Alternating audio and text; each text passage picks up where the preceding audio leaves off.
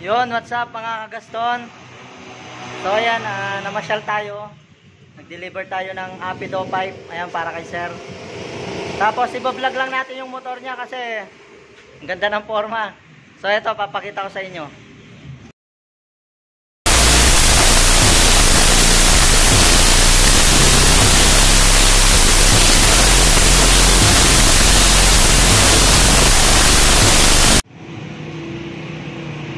So ayan, ayan yung ah, motor ni sir. Ah, so i-details muna natin. Naka PS16 na siya na brake set, brake lever set. Tapos ah, naka Earl siya na PSI.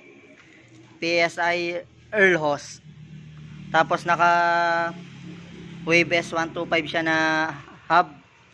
Naka drum brake, ayan drum brake na pang wave S tapos swing arm JRP tapos yung set niya ng rim set ayan SDR tapos naka open throttle body siya ayan. Open throttle body. Tapos ito yung malupit na nakalagay din. Yan yung naka ano siya uh, fuel pump regulator. Kung ayaw mong magpalit ng ECU gusto mong mawala yung pugak pwede ka rin mag-install nito. Para less gastos din. Kasi alam naman natin na medyo mahal yung ECU tapos hirap ang humanap ng mag-tuning. So ito naka fuel pump regulator siya tapos nakalagay ngayon ni Sapido yung galing sa atin kaso pang carb yun. Ka nilagay niya muna yung elbow niya. So ayan tapos naka white bolts na lahat siya 100% white bolts. Tapos JRP ah uh, tawag dito? JRP shifter single shifter. Tapos yan yung, yung fuel pump regulator nya tapos nakalighten baso sa harap. Tapos colored chain. Yan DKT tapos ayan naka Noiwat dan na upuan tapos pag binuksan mo to, ang dali lang yung susi. Meron pang isang malupit na nandito sa loob eh. Ayan. Ayan, naka ano siya. ECU shop. Ayan. Pwede bang labas to? Labas natin. Ayan. Naka ECU shop na siya na ECU, racing ECU. Ito yung pinaka isa sa pinakamagandang ECU mga kagaston kasi meron siyang ano uh, mobile tuning. So da-download mo lang yung application niya para ma-tune. Tapos ayan. Ayan siya. So papaandar natin kay sir kasi meron to sikreto eh. Pinarinig niya sa akin eh.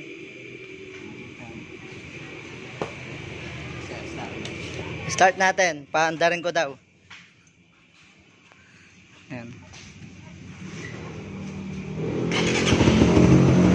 Ayan kasi dahil, dahil naka ECU siya tapos naka fuel pump regulator pa siya. Wala siyang puga. Ayan, tignan nyo. Sindi natin ilaw. Ayan, tapos yung response ng RPM, siyempre mas maganda. Tapos ito, meron siyang parang chicharon.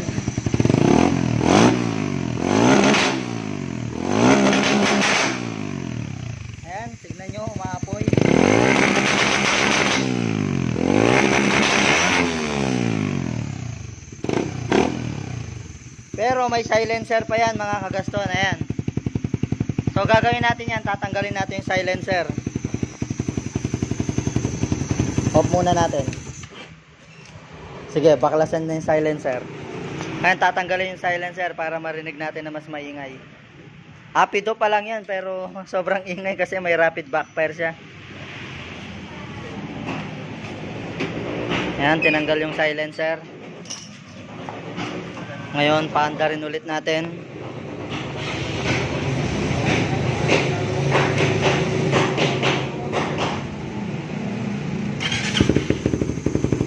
Sige sir, ikaw maggas. Mas sanay mo eh.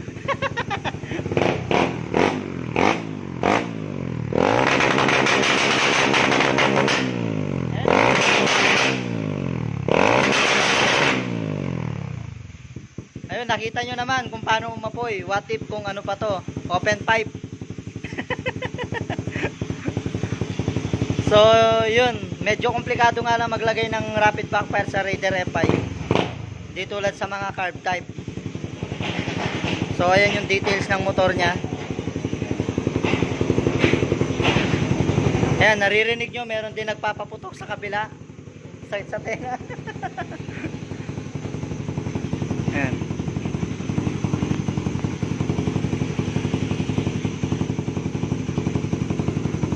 Yung sikreto para mas malakas yung tunog. Magpalagay kayo ng rapid backfire.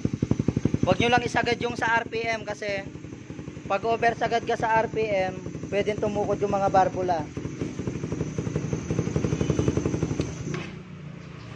Kaya yung mga nagbabalak magpaputok sa New Year, hinay-hinay lang sa pagpisil ng RPM kasi kapag na-over pisil ka sa RPM mo, tutukod yung mga barbula mo.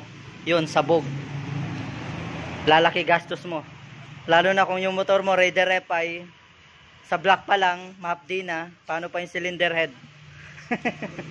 kaya, kaya dapat ano, hinay-hinay sa pagbobomba sa New Year. Kahit ano pa yung motor mo, hinay-hinay lang, wag mo lang pakasagad sa RPM. Ngayon naman kung gusto mong medyo safe para iwas putok, sakyan mo na lang yung motor tapos itapat mo sa pader. Tapos center stand mo.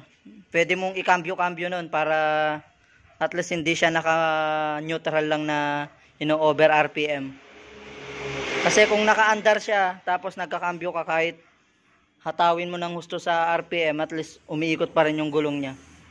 So, iwas ano din yon Iwas sa tukod barbula. Tsaka kung stock yung makina mo, medyo iwas din sa tukod. Pero kung kargado na yung makina mo, kunwari naka, naka valve pocket ka na, ganyan, naka downhead, yun yung medyo malapit sa tukod barbula. So, yun, i-details lang natin yung motor niya.